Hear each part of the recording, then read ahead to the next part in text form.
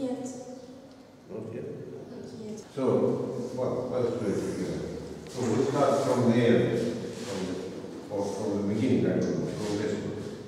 So this is one fifth of ABC. Therefore,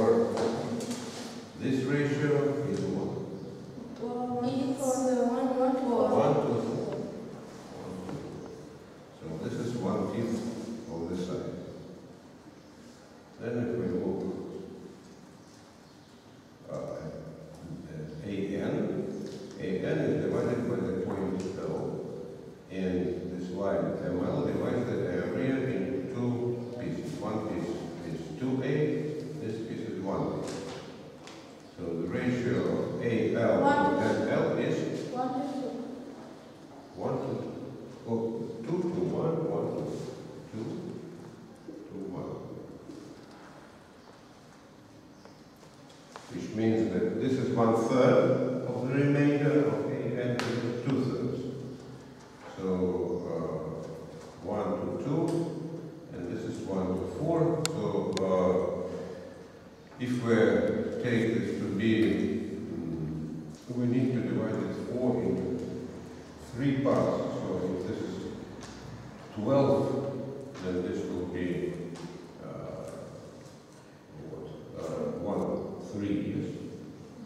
3 and this 12 is divided as 1 and 2 so this will be uh, 4 and this will be 8 so A L to l m to N B is equal to 8 to 4 to 3 right? Yeah.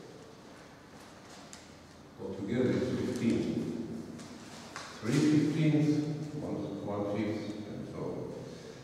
Uh, And uh, same, we have more or less the same, similar, we have on the other side, on the, on AC. So this is one fourth of A and C. One fourth of A and C. Therefore, this is one fourth of. AC. the two pieces are equal, so equal in the area, so this is the median. Yes. Right. Yes. So these two pieces are equal.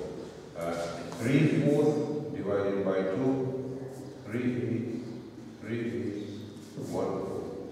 And the ratio here, A, K to k l to M, C will be